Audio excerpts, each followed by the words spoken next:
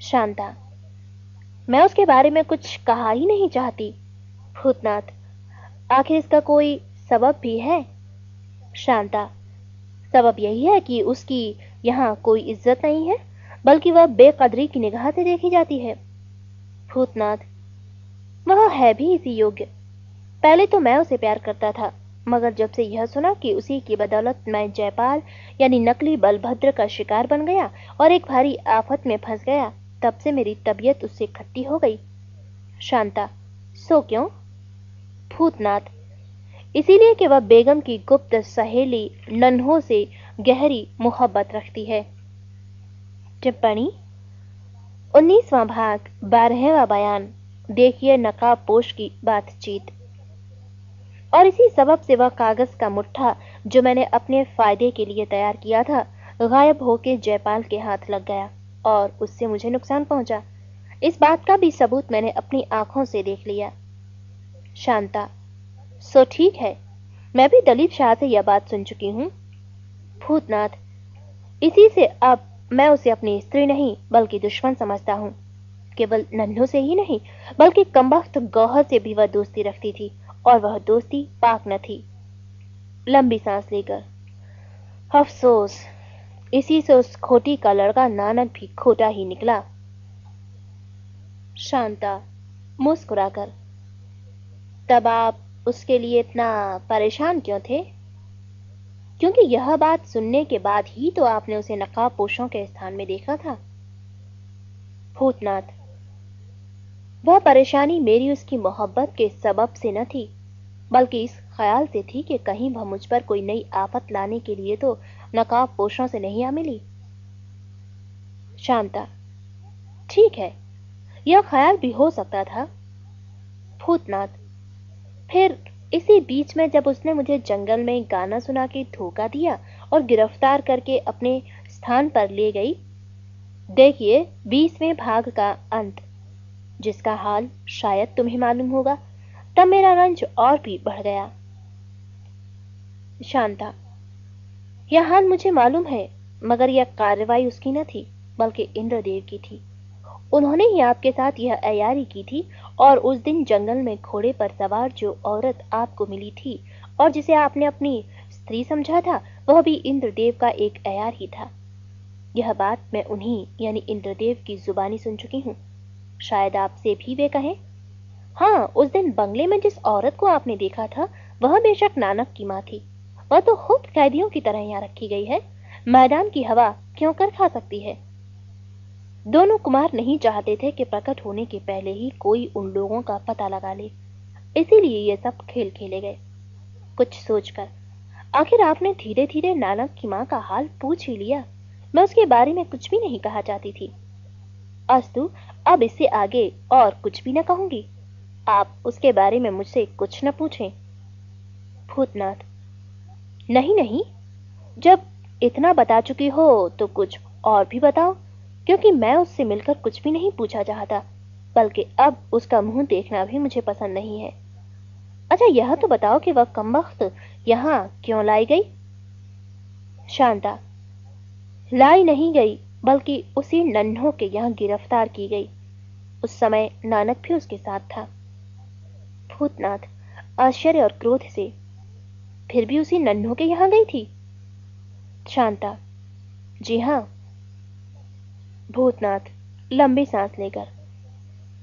लोग सच कहते हैं कि अयाशी का नतीजा बहुत बुरा निकलता है। शांता, अस्तु, अब उसके बारे में मुझसे कुछ न पूछिए। इंद्रदेव जी आपको सब कुछ बता देंगे।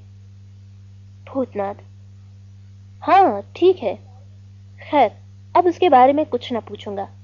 जो कुछ पूछूँगा, वह तुम्हारे और हर नाम ही के बारे में होगा। अच्छा एक बात और बताओ। आज के दरबार में मैंने हर नाम को हाथ में एक संदूकड़ी लिए देखा था। वह संदूकड़ी कैसी थी और उसमें क्या था? शांता, उसमें दारोगा के हाथ की लिखी हुई बहुत सी चिट्ठियाँ हैं, जिनके देखने से आपको निश्चय हो जाएगा कि आपने दलीप शाह को व्यर्थ ही अपना दुश्मन समझ लिया था। पहले जब दारोगा ने दलीप शाह को लालच दिखाकर लिखा था कि वह आपको गिरफ़्तार करा दे तब दो चार चिट्ठियों में तो दलीप शाह ने इस नीयत से कि दारोगा की शैतानियों का सबूत उससे मिलकर बटोर लें। दारोगा के मतलब ही का जवाब दिया था। जिससे खुश होकर उसने कई चिट्ठियों में दलीप शाह को तरह तरह के सब्जबाग दिखलाए। मगर जब दारोगा की कई चिट्ठियाँ दलीप शाह ने बटोर ली, तब साफ़ जवाब दे दिया। उस समय दारोगा साहब बहुत घबराया और सोचा कि कहीं ऐसा ना हो कि दलीप शाह मुझसे दुश्मनी करके मेरा भेद खोल दे। आज तो किसी तरह उसे गिरफ़्तार कर लेना चाहिए। उस समय कम वक्त दारोगा आपसे मिला और उसने दलीप शाह की पहली चिट्ठियाँ आपको दिखाकर खुद आप ही को दलीप शाह का दुश्मन बना दिया, बल्कि आप ही के ज़रिए से दलीप शाह को गिरफ़्तार भी करा लिया। भूतनाथ, ठीक है, इस विषय में मैंने बहुत बड़ा धोखा खाया। शांता मगर दलीप शाह को गिरफ़्तार कर लेने पर भी वे चिट्ठियाँ दारोगा के हाथ न लगी, क्योंकि वे दलीप शाह की स्त्री के कब्जे में थी। अब हम लोग उन्हें अपने साथ लाए हैं, जिसे दारोगा की मुकदमे में पेश करें। भूतनाथ, अस्तु, अब मेरे दिल का खुटका निकल गया, और मुझे निश्चय हो गया कि हर नाम की कोई कार्रवाई मेरे खिलाफ न होगी। शांता, भला वह कोई काम ऐसा क्यों करेगा जिससे आपको तकलीफ़ हो? ऐसा ख्याल भी आपको न रखना चाहिए। हम दोनों में इस तरह की बातें हो रही थी कि किसी के आने की आहट मालूम हुई। भूतनाथ ने घूम कर देखा तो नानक पर निगाह पड़ी। जब वह पास आया तब भूतनाथ ने उससे पूछा, क्या चाहते हो? नानक, मेरी माँ आपसे मिलना चाहती है। भूतनाथ तो यहाँ पर क्यों न चली आई? यहाँ तो कोई गैर तो था नहीं? नानक सो तो वही जाने। भूतनाथ अच्छा जाओ, उसे इसी जगह मेरे पास भेज दो। नानक, बहुत अच्छा। इतना कहकर नानक चला गया और इसके बाद शांता ने भूतनाथ से कहा, शायद उसे मेरे सामने आपसे बातचीत करना मंजूर न हो। शर्म आती हो, या किसी तरह का और कुछ ख्याल हो? अस्तु, आज्ञा दीजिए तो मैं चली जाऊँ। फिर, भूतनाथ नहीं। उसे जो कुछ कहना होगा तुम्हारे सामने ही कहेगी। तुम चुपचाप बैठी रहो। शांता, संभव है कि वह मेरे रहते यहाँ ना आवे? या उसे इस बात का ख्याल हो कि तुम मेरे सामने उसकी बेइज्जती करोगे? भूतनाथ, हो सकता है, मगर कुछ सोच के। अच्छा तुम जाओ। इतना सुनकर शांता वहाँ से उठी और बंगले की तरफ़ रवाना हुई। इस समय सूर्य अस्त हो चुका था और चारों तरफ़ से अंधेरी झुकी आती थी। सातवां बयान। इंद्रदेव का यह स्थान बहुत बड़ा था। इस समय यहाँ जितने आदमी आए हुए हैं, उनमें से किसी को किसी तरह की भी तकलीफ़ नहीं हो सकती थी। और इसके लिए प्रबंध भी बहुत अच्छा कर रखा था। औरतों के लिए एक खास कमरा मुकर्र किया गया था, मगर रामदेई, नानक की माँ की निगरानी की जाती थी। और इस बात का भी बंदोबस्त कर रखा गया था कि कोई किसी के साथ दुश्मनी का बर्ताव न कर सके। महाराज सुरेंद्र सिंह, वीरेंद्र सिंह और दोनों कुमारों के कमरे के आगे पहरे का पूरा पूरा इंतज़ाम था और हमारे लोग भी बराबर चौकन्ने रहा करते थे। यद्यपि भूतनाथ एकांत में बैठा हुआ अपनी स्त्री से बातें कर रहा था, मगर यह बात इंद्रदेव और देवी सिंह से छिपी हुई न थी। जो इस समय बागीचे में टहलते हुए बातें कर रहे थे। इन दोनों के देखते ही देखते नानक भूतनाथ की तरफ़ गया और लौट आया। इसके बाद भूतनाथ की स्त्री अपने डेरे पर चली गई और फिर रामदेव अर्थात नानक की माँ भूतनाथ की तरफ़ जाती हुई दिखाई पड़ी। उस समय इंद्रदेव ने देवी सिंह से कहा, सिंह जी, देखिए, भूतनाथ अपनी पहली स्त्री से बातचीत कर चुका है। अब उसने नानक की माँ को अपने पास बुलाया है। शांता की जुबानी उसकी खुटाई का हाल तो उसे ज़रूर मालूम हो ही गया होगा, इसलिए ताजुब नहीं कि वह गुस्से में आकर रामदेव के हाथ पैर तोड़ डाले। देवी, ऐसा हो तो कोई ताज्जुब की बात नहीं है, मगर उस औरत ने भी तो सजा पाने के ही लायक काम किया है। इंद्रदेव, ठीक है, मगर इस समय उसे बचाना चाहिए। देवी तो जाइए, वहाँ छिपकर तमाशा देखिए और मौका पड़ने पर उसकी सहायता कीजिए। मुस्कुराकर, आप ही आग लगाते हैं और आप ही बुझाने दौड़ते हैं। इंद्रदेव हंसकर, आप तो दिल लगी करते हैं। देवी, दिल लगी काहे की? क्या आपने उसे गिरफ़्तार नहीं कराया है? और अगर गिरफ़्तार कराया है तो क्या इनाम देने के लिए? इंद्रदेव मुस्कुराते हुए तो आपकी राय है कि इसी समय उसकी मरम्मत की जाए? देवी, चाहिए तो ऐसा ही। जी, में आवे तो तमाशा देखने के लिए। चलिए, कहिए तो मैं आपके साथ चलूँ। इंद्रदेव, नहीं नहीं, ऐसा ना होना चाहिए। भूतनाथ आपका दोस्त है, और अब तो नातेदार भी। आप ऐसे मौके पर उसके सामने जा सकते हैं। जाइए और उसे बचाइए। मेरा जाना मुनासिब ना होगा। देवी, हंसकर। तो आप चाहते हैं कि मैं भी भूतनाथ के हाथ से दो एक घूसे खा लूँ? अच्छा साहब, जाता हूँ। आपका हुक्म कैसे डालूं आज आपने बड़ी बड़ी बातें मुझे सुनाई हैं, इसलिए आपका एहसान भी तो मानना होगा। इतना कहते हुए देवी सिंह पेड़ों की आड़ देते हुए भूतनाथ की तरफ़ रवाना हुए और जब ऐसी जगह पहुँचे जहाँ से उन दोनों की बातें बखूबी सुन सकते थे तब एक चट्टान पर बैठ गए और सुनने लगे कि वे दोनों क्या बातें करते हैं। भूतनाथ, खैर अच्छा ही हुआ जो तुम यहाँ तक आ गई। मुझसे मुलाकात भी हो गई और मैं लामा घाटी तक जाने से बच गया। मगर यह तो बताओ कि अपनी सहेली नन्हों को यहाँ तक क्यों न लेती आई? मैं भी जरा उससे मिलके अपना कलेजा ठंडा कर लेता। रामदेई नन्नो बेचारी पर क्यों आक्षेप करते हो? उसने तुम्हारा क्या बिगाड़ा है? और वह यहाँ आती ही काहे को? क्या तुम्हारी लौंडी थी? व्यर्थ एक आदमी को बदनाम और दिक करने के लिए लोग टूटे पड़ते हैं। भूतनाथ, उभरते हुए गुस्से को दबाकर, छी छी छी, वो बेचारी हमारी लौंडी क्यों होने लगी? लौंडी तो तुम उसकी थी जो झक मारने के लिए उसके घर गई थी। रामदेई, आंचल से आँसू पहुँचती हुई मगर मैं उसके यहाँ गई तो क्या पाप किया? मैं पहले ही नानक से कहती थी कि जाकर पूछ आओ, तब मैं नन्नों के यहाँ जाऊँ, नहीं तो कहीं व्यर्थ ही बात का बतंगड़ ना बन जाए। मगर लड़के ने न माना और आखिर वही नतीजा निकला। बदमाशों ने वहाँ पहुंचकर उसे भी बेइज्जत किया और मुझे भी बेइज्जत करके यहाँ तक घसीट लाए। उसके सिर छूटे ही कलंक थोप दिया कि वह बेगम की सहेली है। इतना कहकर रामदेई नखरे के साथ रोने लगी। भूतनाथ, तुमने पहले भी कभी उसका ज़िक्र मुझसे किया था कि वह तुम्हारी नातेदार है? या मुझसे पूछकर कभी उसके यहाँ गई थी? रामदेई, एक दफे गई सो यह गति हुई, और जाती तो न मालूम क्या होता। भूतनाथ, जो लोग तुझे यहाँ ले आए हैं, वे बदमाश थे? रामदेव बदमाश तो कहे ही जाएँगे। जो व्यर्थ दूसरों को दुख दें, वे ही तो बदमाश होते हैं। और क्या बदमाशों के सिर पर सींग होती है? तुम्हारी अक्ल पर पत्थर पड़ गया है कि जो लोग तुम्हारी बेइज्जती किए ही जाते हैं, उन्हीं के लिए तुम जान दे रहे हो। न मालूम तुम्हें ऐसी क्या गरज पड़ी हुई है। भूतनाथ, ठीक है। यही राय लेने के लिए तो मैंने तुम्हें यहाँ एकांत में बुलाया है। मगर तुम्हारी राय होगी तो मैं देखते देखते इन लोगों से बदला ले लूँगा। क्या मैं कमज़ोर या दब्बू हूँ? रामदेव ज़रूर बदला लेना चाहिए। अगर तुम ऐसा नहीं करोगे तो मैं समझूँगी कि तुमसे बढ़कर कमीना कोई नहीं है।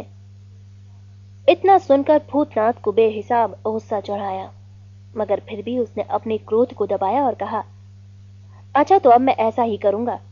मगर यह तो बताओ कि शेर की लड़की गौहर से तुमसे क्या नाता है? रामदेव उस मुसलमानिन से मुझसे क्या नाता होगा?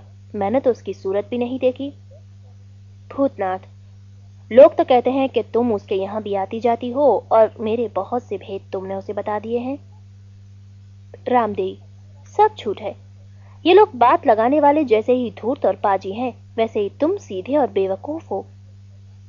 अब भूतनाथ अपने गुस्से को बर्दाश्त न कर सका। और उसने एक चपत रामदेव के गाल पर ऐसे जमाई कि वह तिल मिलाकर ज़मीन पर लेट गई, मगर उसे चिल्लाने का साहस न हुआ। कुछ देर बाद वह उठ बैठी और भूतनाथ का मुँह देखने लगी। भूतनाथ, कमीनी, हरामजादी, जिनके लिए मैं जान तक देने को तैयार हूँ, उन्हीं लोगों की शान में तय ऐसी बातें कह रही है, जो एक पराय को भी कहना उचित नहीं है, और जिसे मैं एक शायद के लिए भी बर्दाश्त नहीं कर सकता। ले समझ ले और कान खोल कर सुन ले कि तेरे हाथ की लिखी वह चिट्ठी मुझे मिल गई है, जो तूने चाँद वाले दिन गौहर के यहाँ मिलने के लिए नन्हों के पास भेजी थी, और जिसमें तूने अपना परिचय कराना की छैन छैन दिया था। बस इसी से समझ ले कि तेरी सब कलई खुल गई और तेरी बेईमानी लोगों को मालूम हो गई। अब तेरा नखरे के साथ रोना और बातें बनाकर अपने को बेकसूर साबित करना व्यर्थ है। अब तेरी मोहब्बत एक रत्ती बराबर मेरे दिल में नहीं रह गई।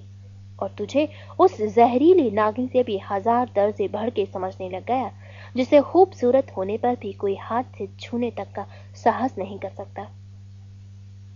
मुझे आज इस बात का सख्त रंज है कि मैंने तुझे इतने दिन तक प्यार किया, और इस बात की तरफ़ कुछ भी ध्यान न दिया कि उस मोहब्बत अयाशी और शौक का नतीजा एक ना एक दिन ज़रूर भयानक होता है। जिसे छिपाने की ज़रूरत समझी जाती है और जिसका ज़ाहिर होना शर्मिंदगी और बेहयाई का सबब समझा जाता है।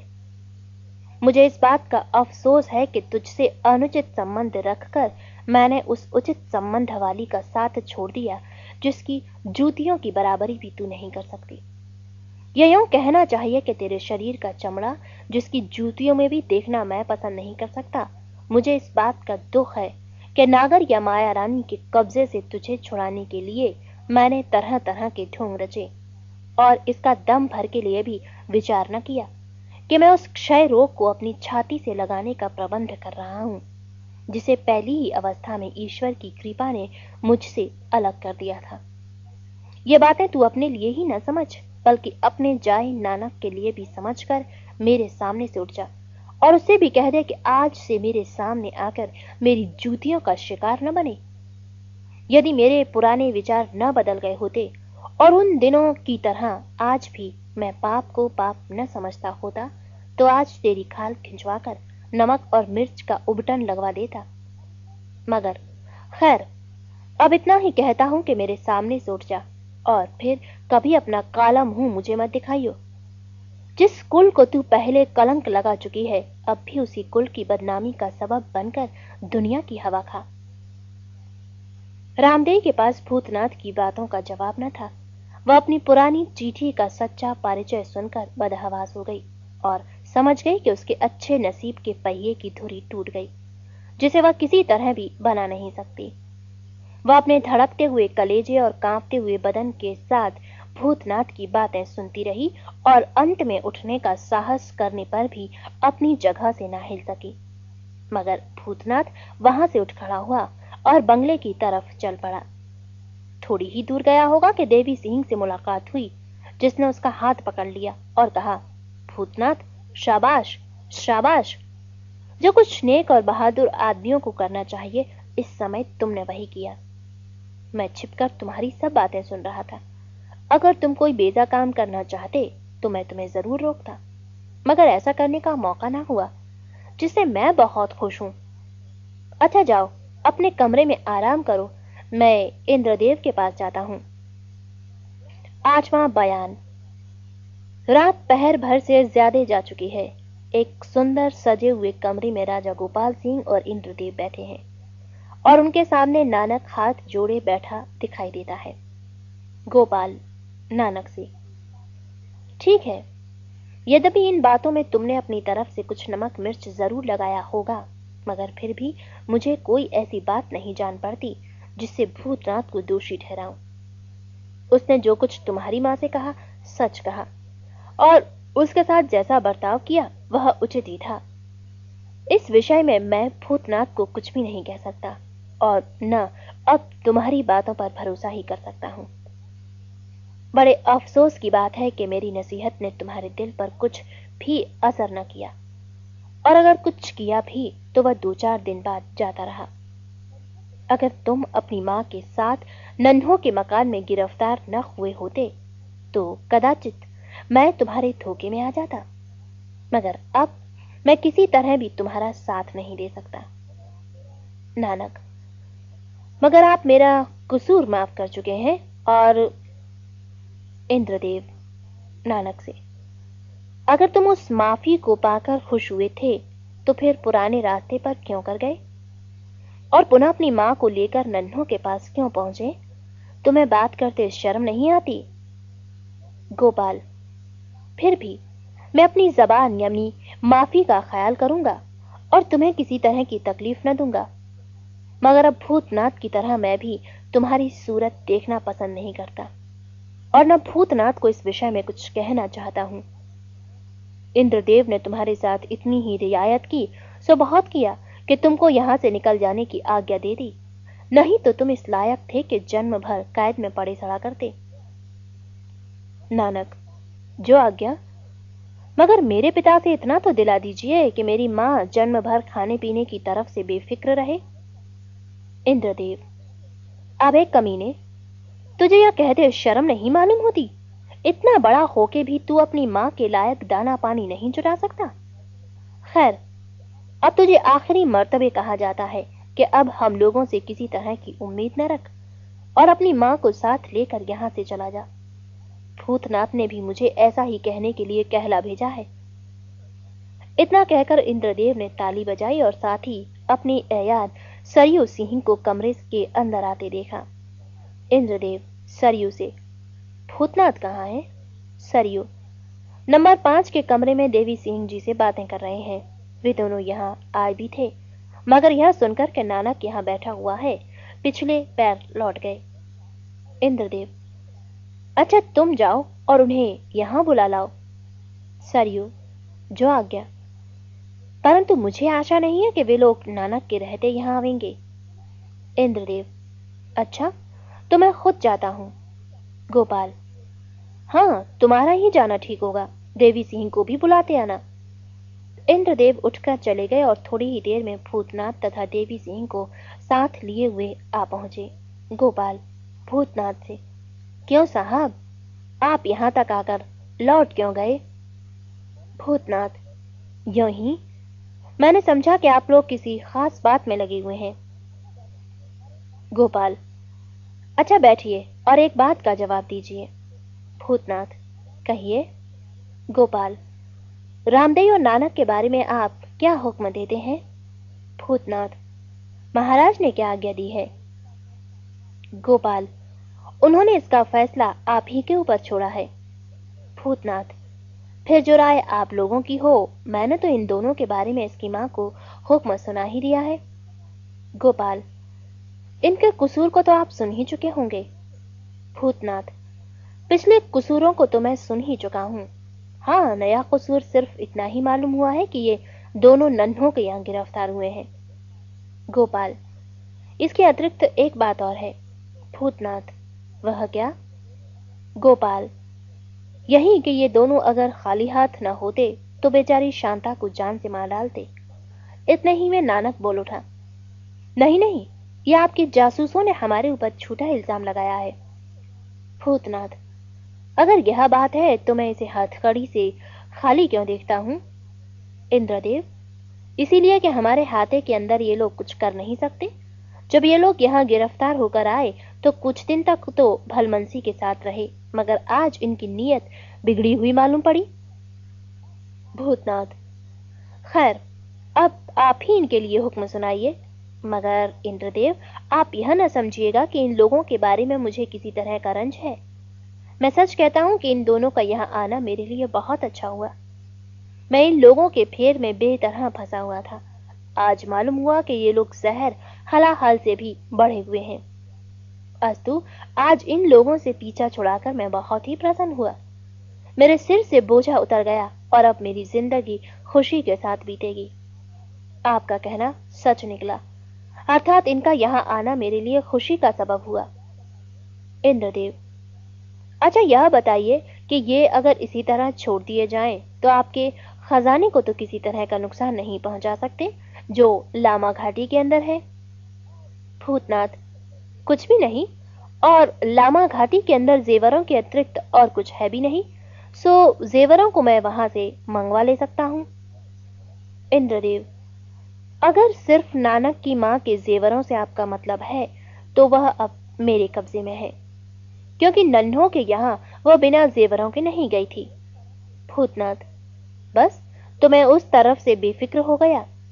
यद्यपि उन जेवरों की मुझे कोई परवाह नहीं है, मगर उसके पास मैं एक कौड़ी भी नहीं छोड़ा चाहता। इसके अतिरिक्त यह भी ज़रूर कहूँगा कि अब ये लोग सूखा छोड़ देने लायक नहीं रहे। इंद्रदेव, खैर जैसी राय होगी, वैसा ही किया जाएगा। इतना कहकर इंद्रदेव ने पुनः सरयू सिंह को बुलाया और जब वह कमरे के अंदर आ गया तो कहा, थोड़ी देर के लिए नानक को बाहर ले जाओ। नानक को लिए हुए सरयू सिंह कमरे के बाहर चला गया और इसके बाद चारों आदमी विचार करने लगे कि नानक और उसकी माँ के साथ क्या बर्ताव करना चाहिए। देर तक सोच विचार कर यही निश्चय किया कि उन दोनों को देश से निकाल दिया जाए और कह दिया जाए कि जिस दिन हमारे महाराज की अमलदारी में दिखाई दोगे, उसी दिन मार डाले जाओगे। इस हुक्म पर महाराज से आज्ञा लेने की इन लोगों को कोई ज़रूरत न थी, क्योंकि उन्होंने सब बातें सुन सुनाकर पहले ही हुक्म दे दिया था कि भूतनाथ की आज्ञा अनुसार काम किया जाए। अस्तु, नानक कमरे के अंदर बुलाया गया और इसके बाद रामदेव भी बुलाई गई। जब दोनों इकट्ठे हुए तो उन्हें हुक्म सुना दिया गया। यह हुक्म यद्यपि साधारण मालूम होता है, मगर इन दोनों के लिए ऐसा न था, जिन्हें भूतनाथ की बदौलत शाह खर्चे की आदत पड़ गई थी। नानक और रामदेव की आँखों से आँसू जारी था। जब इंद्रदेव ने सरयू सिंह को हुक्म दिया कि चार आदमी इन दोनों को ले जाएँ और महाराज की सरहद के बाहर करावें, सरयू सिंह दोनों को लिए हुए कमरे के बाहर निकल गया। भूतनाथ सिर से बोझ उतरा और कमबख्तों से पीछा छूटा। अच्छा आप बतलाइए कि कल क्या क्या होगा? गोपाल, महाराज ने तो यही हुक्म किया है कि कल यहाँ से डेरा कूच किया जाए और तिलिस्म की सैर करते हुए चुनारगढ़ पहुँचे। चंपा, शांता, हरनाम सिंह, भरत सिंह और दलीप शाह वगैरह बाहर की राह से चुनार भेज दिए जाएँ। यदि हमारे किसी अयार की भी इच्छा हो तो उनके साथ चला जाए। भूतनाथ ऐसा कौन बेवकूफ़ होगा जो तिलिस्म की सैर छोड़ के उनके साथ जाएगा?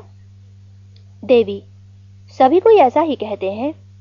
भूतनाथ हाँ यह तो बताइए कि मैंने नानक को जब दरबार में देखा था तो उसके हाथ में एक लपेटी तस्वीर थी। अब वह तस्वीर कहाँ है और उसमें क्या बात थी?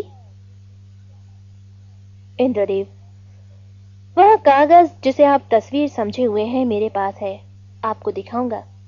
असल में वह तस्वीर नहीं है, बल्कि नानक ने उसमें एक बहुत बड़ी दरखास्त लिखकर तैयार की थी, जो दरबार में आगे पेश किया चाहता था। मगर ऐसा कर ना सका। भूतनाथ, उसमें लिखा क्या था? इंद्रदेव, जो लोग उसे गिरफ़्तार कर लाए हैं, उनकी शिकायत के सिवाय और कुछ भी नहीं। साथ ही इसके उस दरख्वास्त में इस बात पर बहुत ज़ोर दिया गया था कि कमला की माँ वास्तव में मर गई है, और आज जिस शांता को सब कोई देख रहे हैं, वह वास्तव में नकली है। भूतनाथ, वहाँ रे शैतान, कुछ सोचकर तो शायद वह दरख्वास्त महाराज के हाथ तक नहीं पहुँची? इंद्रदेव, क्यों नहीं? मैंने जानबूझकर ऐसा करने का मौका दिया। वह रात को पहरे वालों से इत्तला कराकर खुद महाराज के पास पहुँचा और उनके सामने वह दरख्वास्त रख दी। उस समय महाराज ने मुझे बुलाया और मुझी को वह दरख्वास्त पढ़ने के लिए दी गई। उसे सुनकर महाराज ने मुस्कुरा दिया और इशारा किया कि वह कमरे के बाहर निकाल दिया जाए, क्योंकि इसके पहले मैं शांता और हरनाम सिंह का पूरा पूरा हाल महाराज से अर्ज़ कर चुका था। भूतनाथ अच्छा मुझे भी वह दरख्वास्त दिखाइएगा?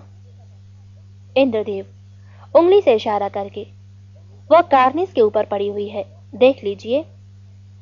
भूतनाथ ने दरख्वास्त उतार कर पढ़ी और इसके बाद कुछ देर तक उन लोगों में बातचीत होती रही।